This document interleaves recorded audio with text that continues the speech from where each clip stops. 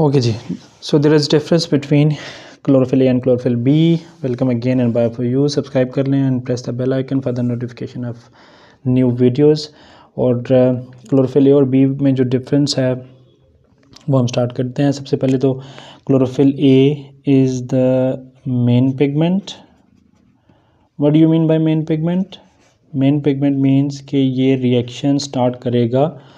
Photosynthesis का जो reaction होगा वो क्लोरोफिल ए की वजह से होगा। और जो क्लोरोफिल बी है this is the accessory pigment accessory pigment का मतलब क्या है कि ये लाइट कैप्चर करके will transmit towards the reaction centre और रिएक्शन सेंटर में क्या चीज़ मौजूद है? क्लोरोफिल ए फिर अगर आप इनका कलर देखें तो जो क्लोरोफिल ए है दिस इज़ ब्लूइश ग्रीन वो मैंने आपको पहले भी बताया था। इट इज़ ब्लूइश ग्रीन और जो क्लोरोफिल बी है this is yellowish green in colour so this is the second difference between chlorophyll and chlorophyll B third difference is मैंने डिस्कस भी किया कि it's a main pigment and it is present in reaction center. So rc is reaction center.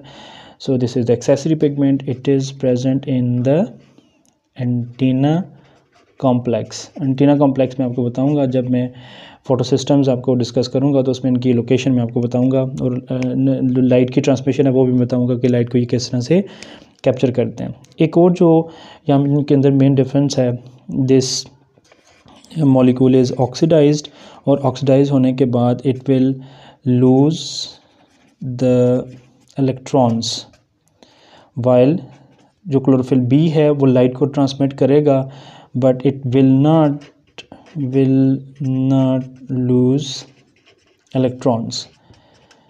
So so, ये अपनी light capture करने के बाद resonance free energy से ट्रांसफ़र कर देगा towards the reaction centre but it will not lose the electrons वो भी मैं डिस्कस करूँगा जब आगे मैं रिएक्शन आपको बताऊँगा तो। फिर एक और डिफरेंस इनके अंदर आपको क्या नज़र आता है जी?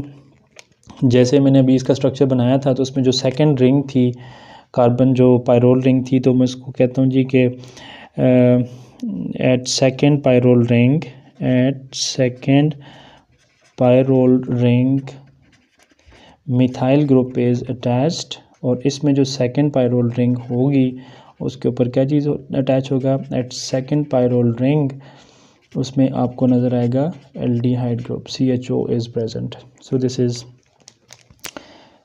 another difference between chlorophyll A and chlorophyll B this is the fifth difference फिर एक और डिफरेंस आपको नज़र आता है इनके मालिकुलर वेट के अंदर। तो आप कहते हैं जी, जो क्लोरोफिल ए है this is low having low molecular weight और जो आपको नज़र आता है chlorophyll B it is high molecular weight so ये भी इनके बीच में आपको डिफरेंस नज़र आता है।